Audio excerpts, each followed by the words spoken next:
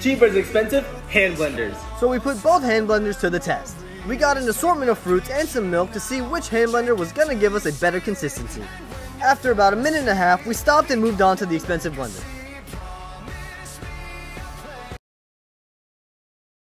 After only about 45 seconds, we noticed that the expensive blender just gave us a smoother consistency already. Here's the end result for the cheap blender. Definitely has a lot of chunks still in it. And here are the results for the expensive blender. And there's a clear difference there. Inexpensive wins!